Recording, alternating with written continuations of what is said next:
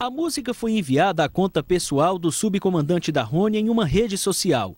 A letra é carregada de ameaças e ofensas ao capitão Fábio Abreu, ao soldado identificado como Avelar e ao batalhão. Polícia, marginais fardados. Uh,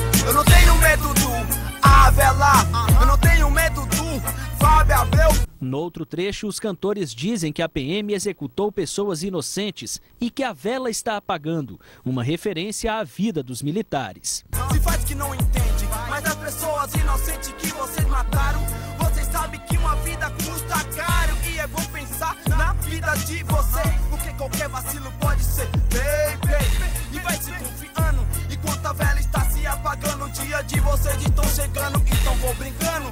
A suspeita de autoria recai sobre uma dupla de irmãos de aproximadamente 20 anos de idade, residente na zona sul de Teresina. Na semana passada, eles foram detidos por porte legal de arma. Não há informação se ainda permanecem presos. Durante a permanência na central de flagrantes, os irmãos cantaram em alto e bom som a música para os colegas de cela. Eles estavam entoando essa, esse rap lá na, na cela e aí a gente obteve essa informação e a partir dessa informação chegamos aos nomes.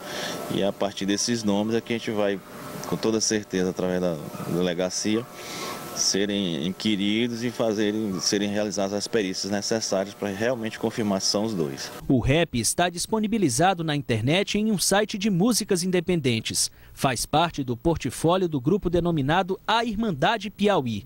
Na página constam fotos dos possíveis integrantes. O capitão não lembra se esteve envolvido pessoalmente na prisão dos suspeitos. Ele pretende registrar boletim de ocorrência por ameaça e diz que vai aumentar o cuidado com a proteção. A gente vai fazer todos os procedimentos que forem cabíveis com relação aos registros, a questão da legalidade da coisa. E aí, com a identificação do, do, do, desses suspeitos, aí também serão tomadas as outras providências, todas as providências que nós pudermos tomar legalmente contra esses indivíduos serão tomadas.